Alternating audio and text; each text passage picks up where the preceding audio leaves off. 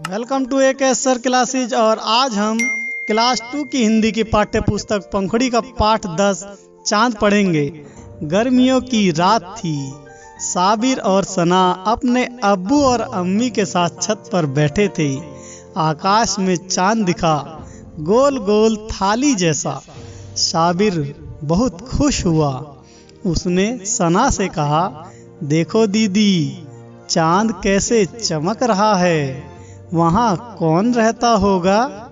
सना बोली, अभी तक चाँद पर जीने के लिए ज़रूरी हवा, पानी, भोजन आदि नहीं मिल पाए हैं, इसलिए वहाँ कोई नहीं रहता।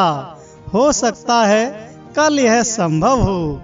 साबिर ने अम्मी से कहा, चाँद के बारे में कुछ और बताइए ना। अम्मी बोली, चाँद हमारी धरती के चारों ओर चक्कर लगाता है।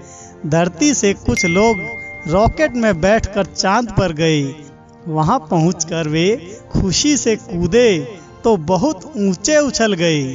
चाँद पर बड़ी बड़ी चट्टाने और गड्ढे हैं। वे लोग वहाँ से मिट्टी और चट्टानों के नमूने धरती पर लेकर आए। साविर ने पूछा, चाँद पर इतनी चमक कहाँ से आती है? अब्बू ने बताया, चाँद को सूरज से प्रकाश मिलता है। हमारी धरती को भी सूरज से प्रकाश मिलता है। सूरज को रोशनी कौन देता है? साबिर ने फिर पूछा। सूरज एक तारा है। तारों की अपनी रोशनी होती है। आसमान में ये जो तारे टिमटिमा रहे हैं, वे सब हमारे सूरज की तरह हैं। उनमें कुछ तो सूरज से भी बड़े हैं।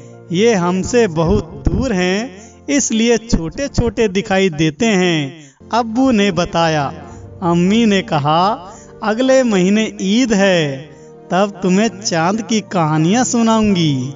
तो आपको यह कहानी कैसी लगी?